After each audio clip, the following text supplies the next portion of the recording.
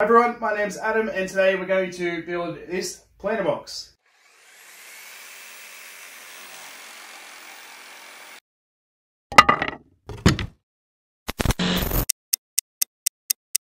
Now just a quick couple of things. The footage you're about to see is taken from a live stream that I did building the planter box. So the angle is pretty much just going to be the same thing the whole time. I did move the camera towards the end, but it doesn't really matter that much. Now I'm going to, throughout the live stream, I did talk and explain what I was about to do. So I'll probably keep a few of those in just to show what I'm going to do and then time lapse or speed up the footage of me actually doing it.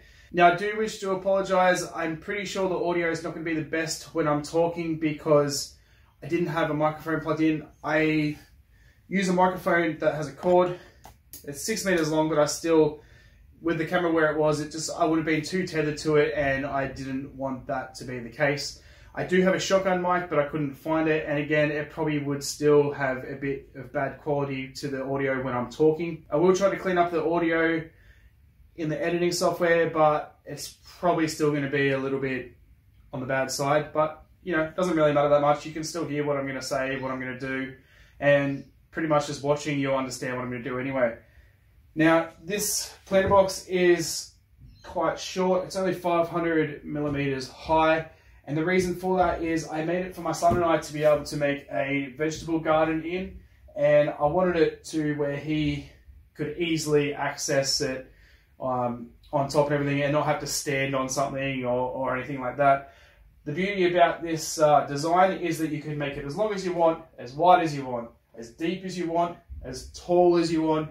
I've made a couple of these for a friend in the past and they were actually about double the height. I think the live stream went for about an hour and 20 minutes.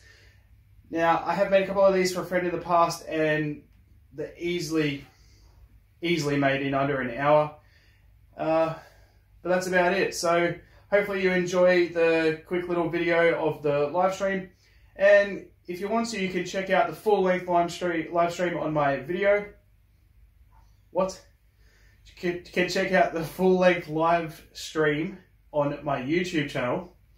And I hope to do some more live streams in the future. Now, I think when I was looking, there was like one person maybe watching, but then like no one talked or commented or anything like that. So I don't know if that was actually someone watching or not. And I still enjoyed it. It was fun being able to build something, explain what I'm doing without having to worry about getting camera angles and everything. And I do want to do some live, more live streams in the future.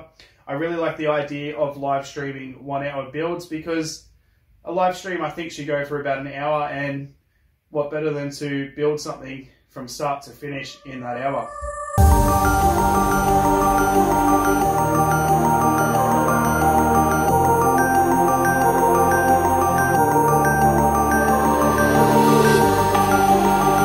Alright, so now I've got the end pieces, the side pieces and the legs done. Going to build a box and then I can no, no. I need to. I need to cut the uh, stretches for the legs on each so that the uh, floor in the box has something to sit.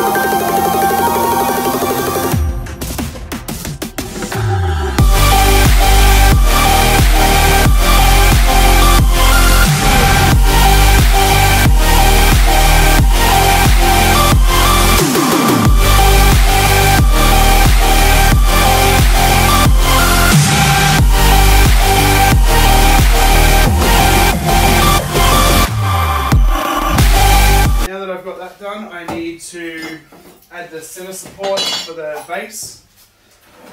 So I'm going to measure in where the legs are for the final length. That way if this is bowed at all, it's going to pull it in.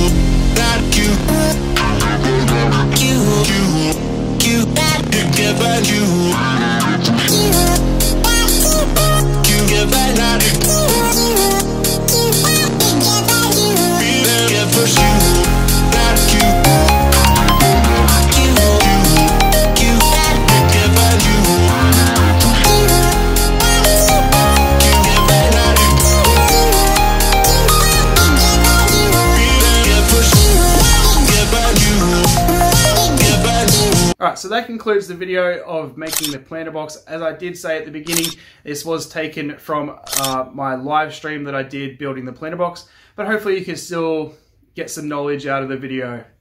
Now, if you did like the video or if you just wish to be notified or want to see one of my live streams, make sure you hit that subscribe button down below, hit the like button on this video, leave a comment, let me know what you think. You can also follow me on social media on Instagram and Facebook, and I'll have links to those down below as well. And I'll see you next time.